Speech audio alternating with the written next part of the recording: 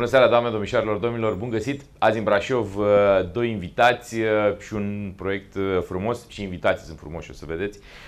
Bianca Nema, promotor al proiectului actual. Bună seara, bine ați venit! Bună seara! Și frumosul Nicolae Covaci. Ai zis că am invitat frumoși. Frumosul Nicolae Nicu Covaci, fondator și lider al formației Phoenix. Ce să mai prezentăm? Nu mai prezentăm nimic. Ne bucurăm de prezența lui în emisiune.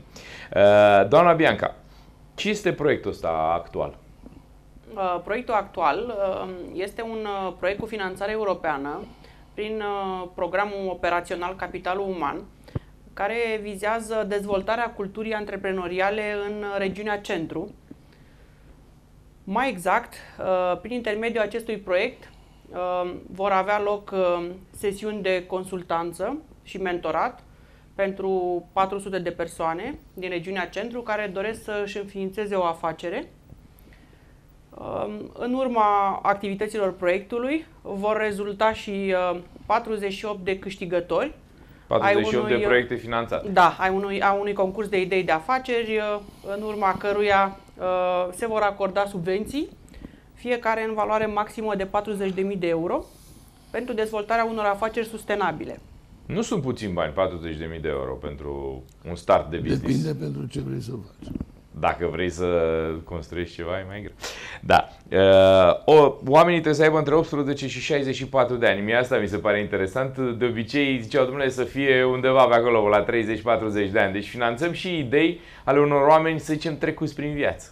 Așa este, dar al, al, uh, a unor oameni care uh, până acum nu au fost antreprenori, nu au avut ocazia să își ducă până la capăt visul, să zicem așa. Ce ne diferențiază față uh, de alți promotori de proiecte asemănătoare în regiune? Faptul că ne dorim foarte mult să încurajăm industriile creative.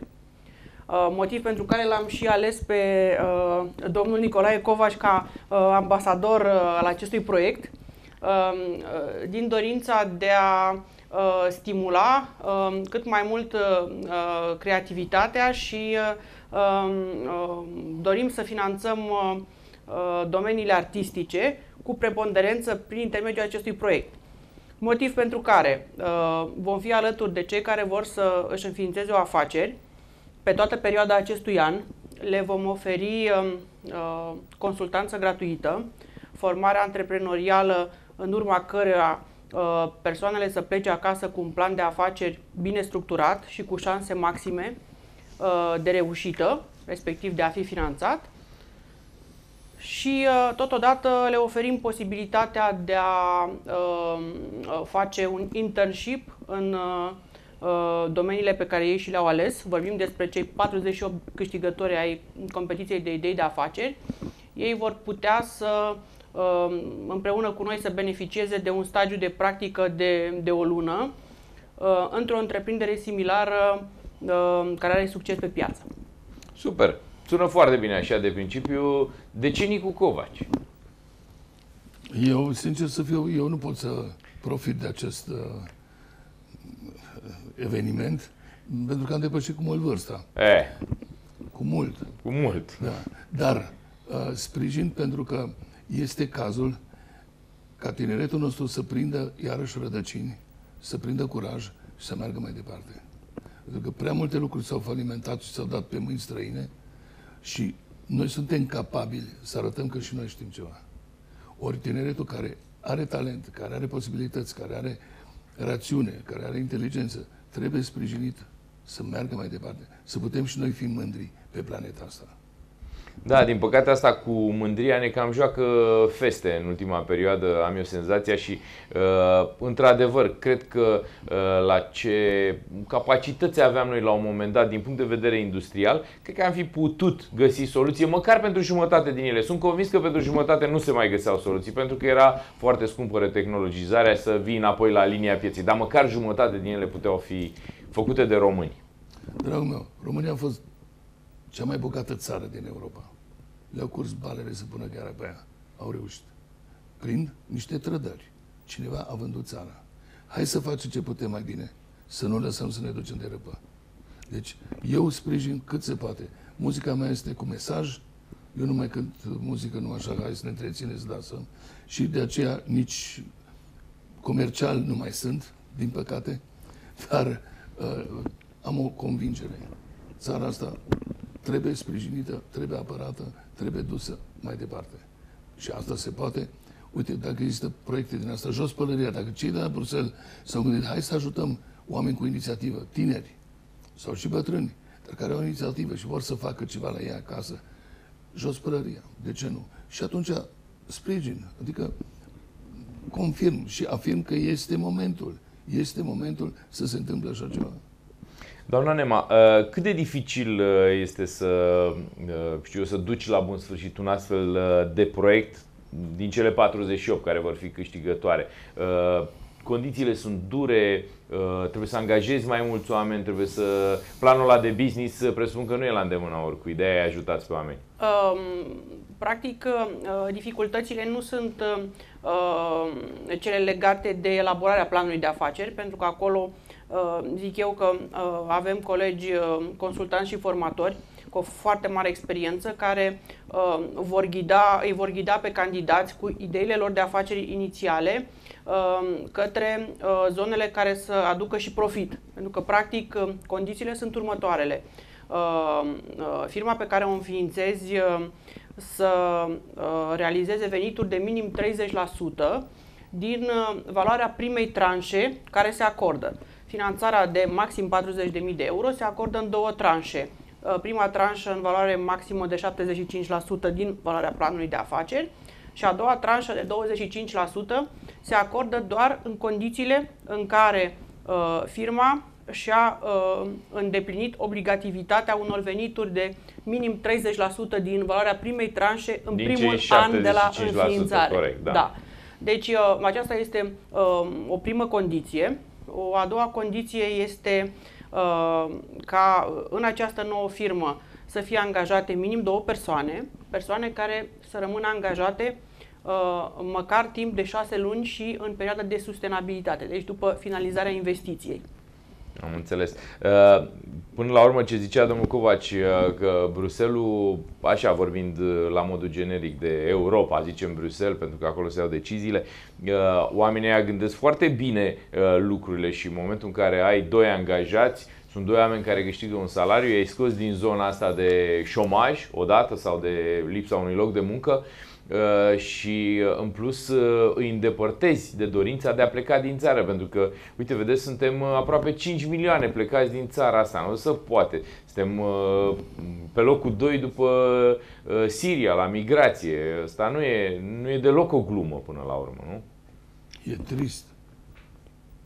E trist, dar uite, și eu am plecat din țară și, uh, cum să spun, uh, mă întorc și mă încarc de durere de fiecare dată când vin încoace.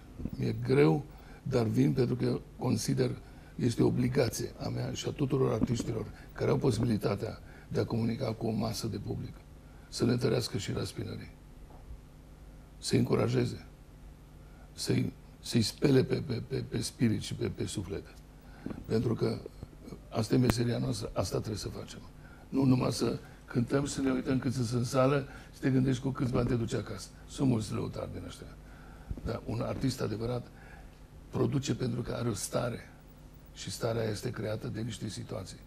Ori la, în momentul ăsta, situația în țară mă întristează. Sunt trist și supărat. Ascult ultimul meu disc, așa un disc supărat n-am făcut niciodată. Și uh, nu pot acum. Și de aceea nu sunt comercial. Dar am găsit o soluție. Discul meu este un bilet de intrare la concert. Cine vrea să asculte Phoenix, vine la concert și pleacă cu un disc acasă. Pentru că nu pot să le vând. Eu dacă pun un disc în vânzare, 10 euro să zicem, 6 euro mă oprește mă prăvălia, fără să fac un, de, un gest. Mă oprește 6 euro. Rămân cu 4. Din aia 4 încă 2 mă costă multiplicarea, rămân cu 2 euro. Păi 65.000 de euro cât a costat ultimul meu disc. Când îi acopăr? Numai ca să acopăr, nu să fac un plus. Și atunci, mai bine îl dați Și atunci mai bine cadou. îl dau gratis. Îl dau cadou. Cine vrea să asculte, cine vrea un disc, veniți, vine la concert. Corect, da. Până la urmă e o, este un avantaj uh, real să Uh, da, asta cu muzica comercială poate să facă subiectul unei discuții destul de lungi. Uh, nu cred că avem noi E timp. nevoie, e nevoie și de muzică de distracție, e nevoie să ne detașăm de niște stresuri pe care le avem. Adevărul e că românii sunt foarte stresați și, și supărați și au nevoie de muzică care să să-i facă să respire adânc. Dar uh, eu nu sunt capabil la ora asta. Îmi pare foarte rău. Uh, Cât de important e Nicu Covaș pentru proiect? Uh, Că așa ne-ați dat așa niște informații cu...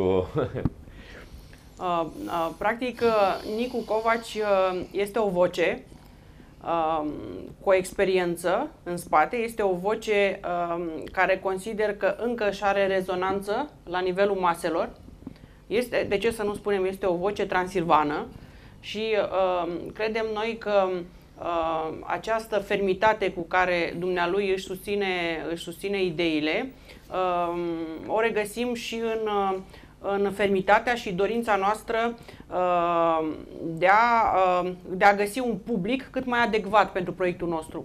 Proiectul actual nu este uh, destinat unui public care vrea să cheltuiască bani europeni, pentru că aud foarte des uh, această formulare. E o În sintagmă deja, Da, nu mai- deci cheltuirea ban- uh, banilor europeni sau a fondurilor europene. Deci eu aș vrea ca uh, cei care uh, vin în acest proiect să nu vină în ideea de a cheltui cei 40.000 de euro. Sigur că ei vor fi cheltuiți la un moment dat, dar uh, scopul nu este cheltuirea acestor bani, ci scopul este, este crearea unor afaceri sustenabile, uh, de ce nu în industrii creative? Și acesta este prima uh, este primul argument pentru care um, uh, considerăm că domnul Covaci ne poate reprezenta proiectul. Pentru faptul că uh, el reprezintă o formație care și-a atins uh, un apogeu în domeniul artistic și uh, ne dorim ca uh, prin acest proiect să, să putem să dăm aripi uh, unor, uh, unor oameni care vor să investească și în aceste industrii creative. De la, de la uh, uh, graphic design uh, până la arhitectură, uh, de ce nu, media și TV, uh, organizare de evenimente culturale. Deci sunt niște domenii uh, pe care noi dorim foarte mult să punem accentul în, în cazul acestui proiect și considerăm că uh, Nicu Covaci are capacitatea să uh, rezoneze cu tinerii antreprenori, de ce nu, tinerii artiști antreprenori. Da, corect. Oricum, uh, marja asta de, de vârstă de la 18 la 64 de ani, uh, sunt convins că uh, oamenii ăștia, mă rog, ăștia mai tineri uh, au auzit, dar cei mai, uh, știu eu, trecuți de 30 de ani probabil au avut și șansa în viață să vadă un concert cu, cu Phoenix și uh, până la urmă, așa cum spuneți, într-adevăr, Phoenix ca și proiect a ajuns undeva la apogeu, însă spre norocul uh, lor, al vostru, uh, a- steaua n-a apus, adică steaua încă strălucește acolo. Felixul e blestemat să renească, dar pentru asta trebuie să ajungă cenușă. Uite, am luat un gitarist la 12 ani, fenomenal, Andrei Cerbu. Și un toboșar. Am un toboșar extraordinar, cel mai teribil toboșar, Flavius Hosu. La- Pe cerul l-am luat la 12 ani, acum are 15, Hosu la 14 ani, acum are 17 și cântă ca niște Dumnezei. Deci cineva va duce steagul mai departe. Eu cât mai stau cu chitară la gât? Hai să fim serioși. O vreme. Deci vreau să se meargă mai departe. Și asta vreau și mă bucur că există inițiative de genul ăsta. Hai să încurajăm oamenii să pună mâna să facă ceva. Să pună umăr la umăr. Da, imposibil, uh, că tot vorbim aici de industrii creative, este imposibil. Uh, Foarte mulți tineri au idei. Uh, De cele mai multe ori însă nu ideile le lipsesc, ci banii le lipsesc să facă, să-și ducă ideile astea mai departe. Din momentul ce arta ajunge pe masa comercială și nu mai contează decât ce aduce bani, se duce dracului spiritul. Ori arta înseamnă spirit. Adică tu pictezi o chestie care crezi în ea. Nu contează o vinzi sau nu o vinzi. Tu te exprimi și o încarci acolo cu emoție. E vorba de emoție. Lumea merge la un restaurant pentru anumite emoții, se duce să bea pentru anumite emoții și la un concert se duce pentru alte emoții. Ori acele trebuie create. Asta este obligația artistului. Da, eu mă gândeam acum la partea asta de publicitate, arhitectură, design, modă, cercetare, jocuri video. Deci, sunt copii pe care îi vedem la 17-18 ani angajați sau sub contract cu mari companii de IT, software din, din întreaga lume, lucrează genial. de acasă pe calculator. Genial. Exact, sunt, sunt geniali. Și ei, dacă ar avea 40.000 de euro, uh, ar uh, duce sau nu știu, ar împleti genialitatea lor uh, nativă, să zicem, sau căpătată pe parcursul timpului cu un business. În momentul ăla, într-adevăr, ei ar fi, ar deveni stâlpi ai societății. Practic, rolul nostru în proiect Uh, nu este doar aceea de a finanța niște întreprinderi, ci de a direcționa, de a, de a uh, cumva um, așeza pe o direcție de business de a da o pe, șansă. acești, pe acești tineri artiști, pentru că uh, este foarte importantă și modalitatea de întocmire a unui plan de afaceri. Ei pot avea idei foarte bune, dar uh, ei trebuie ghidați uh, spre un, o anumită tipologie de, exact. de afacere Uh, care în același timp să le, să le poată aduce și o sursă de venit. Eficiență și, atunci, și randament. Exact, din propriul talent. Absolut. Dar noi nu ne-a sprijinit nimeni. Noi nu avem acest sprijin și am făcut ce am făcut. Dar ei, dacă primesc sprijin, poate să meargă mai departe. Da, de fapt asta, asta poate fi startul unui uh, business care să aibă poate doar la început doi angajați. Poate că în trei ani de zile vor fi 20 de angajați Poate că un copil, da, nu știm neapărat, poate un copil mare de 35, de 40 de ani, un copil uh, cu mintea limpede și cu dorința de a face lucruri, lucruri pe care n-a avut posibilitatea să le facă. Poate a fost angajat undeva și a fost îngrădit, a stat în salariu la uh, credite la bancă și așa mai departe. Acum poate are, e momentul lui să explodeze. Dar pentru asta trebuie să punem una, să muncim, zice Nicu Covaci undeva, că, domnule, dacă nici atunci când cineva vrea să te ajute, nu te implici și nu muncești, asta e o mare problemă. Și cumva avem problema asta noi românii. Este clar că totul are un preț. Totul are un preț pe lumea asta. Noi am plătit niște prețuri gigantice, lumea nu știe. Deci am scris două volume, am scris două cărți cu o poveste mai detaliată, o viață plină de aventuri, dar prețurile plătite sunt inimaginabile. Unii rezistă, alții nu rezistă. Însă nu te da bătut niciodată. Nu te da bătut niciodată. Ai apucat-o pe un drum, mergi până la capăt. Jumătăți de măsură nu se merită. Da, e, uh, spunea unul deștept, mai deștept ca mine, mult mai deștept ca mine, hai să fiu și uh, spunea un lucru interesant că trenul ăsta care e viața, Uh, trebuie să-l prinzi, dar îl prinzi, te urci undeva la clasa 1, la clasa 2, dar trebuie să te urci în vagonul tău, că dacă nu te urci în vagonul tău, o să fii un călător în trenul ăla și atât. Nu, nu rămâne nimic din tine. Problema e și unde se dau jos unii. Da, la prima. Phoenixul, de exemplu, este un tren. S-au suit mulți și au coborât. Unii mai devreme, alții mai târziu. Unul a rezistat un an, alții trei ani. Prin Phoenix au trecut vreo 40 de oameni. Când am văzut ce preț se cere, ce eforturi și ce sacrificii. Dar se merge mai departe. Oamenii au încredere. Am lângă mine niște băieți atât de voinici și atât de convingători și încrezători în ceea ce fac. Eu, la ultimul turneu am avut iarăși surpriza să văd oamenii în sală plângând de emoție. E absolut normal, deci nu sunteți, sau mă rog, Phoenix nu e o trupă de asta care a apărut al altăieri, iar de steaua un pic, avem două melodii, se aud la radio un an de zile, după care se schimbă formula sau hai să renunțăm. Sau că nu merge treaba. Nu, aici vorbim de o trupă care uh, face parte din uh, istoria poporului român. Din suta asta de ani, nu că de acum suntem cu suta de ani, în loc să fim cu câți ani? 18.000, nu? Ca zis dumneavoastră înainte de emisiune. Că ar trebui păi să avem. Păi nu. Vreo 18.000 de ani. Uh, uh, credeți în, uh, în uh, șansa celor 48 de proiecte? Eu personal uh, am plecat la drum uh, acum 2 ani de zile, când am scris acest proiect cu, cu credința că uh, există foarte multe uh, talente care își caută o finanțare și din acest uh, motiv uh, uh, cred că uh, dacă ne adresăm uh, uh, publicului Phoenix și spun asta, uh, de ce publicului Phoenix? Pentru că este un public sincer uh, și hotărât, care uh, știe că dacă vrea să plece pe un drum, ăla este drumul. Uh, eu cred că dacă vom găsi 48 de oameni foarte convinși că ideea lor este cea mai bună și care sunt dispuși să, să facă sacrificii ca din această idee să uh, facă și bani, pentru că practic uh, uh, finalitatea este una comercială. Uh, partea artistică este doar uh, partea pe care noi ne dorim, ne dorim foarte mult să o finanțăm. Dar, Motorul de unde pleacă tot, de absolut, fapt. Absolut, Dar uh, uh, scopul este uh, să faci bani din ceea ce îți place. Și eu cred că există în regiunea centru, în cele șase județe, 48 de oameni care sunt dispuși să își ducă visul la capăt.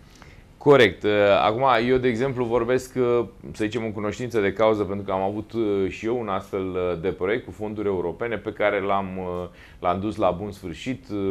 Motorul inițial funcționează și astăzi, lucrurile sunt ok. Trebuie să înțeleagă cei care se angrenează într-un astfel de, de proiect, trebuie să înțeleagă că nu-ți dă nimeni niște bani pur și simplu să-ți dea niște bani să scape. Are cineva niște bani și vrea să scape de ei. Nu. Trebuie să te implici în uh, chestiunea asta pentru că, de fapt, banii ăștia sunt dați cu un scop foarte clar. În primul rând, să ne țină aici, unde suntem în acest moment. De asta, Europa de asta ne dă bani și de asta a dat bani, le-au dat bani și italienilor și polonezilor și așa mai departe. Că dacă nu le-ar fi dat, Uh, cu siguranță erau alții înaintea noastră la numărul de uh, cetățeni ai statului care se mișcă prin, uh, prin Europa.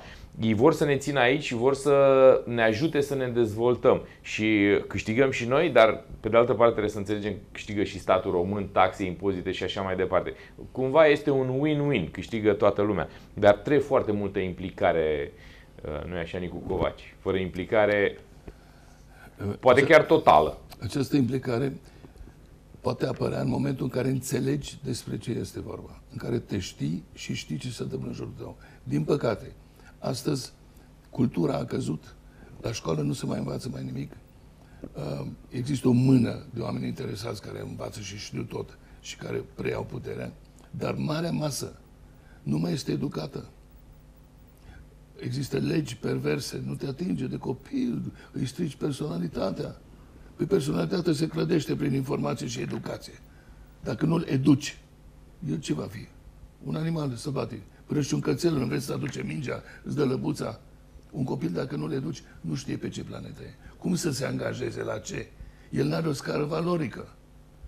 Asta se face doar prin informație și educație. Nu, da, prin informație corectă, că până la urmă vedeți că uh, valorile în România în, uh, în anul ăsta, în 2008, sunt complet răsturnate, sunt uh, Uh, ceea ce vedem la televizor, la televiziunile naționale, uh, este un sistem, de fapt, bine pus la punct, mă gândesc, de niște oameni inteligenți care ne vor acolo la Sunt un anumit nivel. Deștepți. Sunt foarte deștepți, da. Deștepți. Ne vor acolo la un anumit uh, nivel.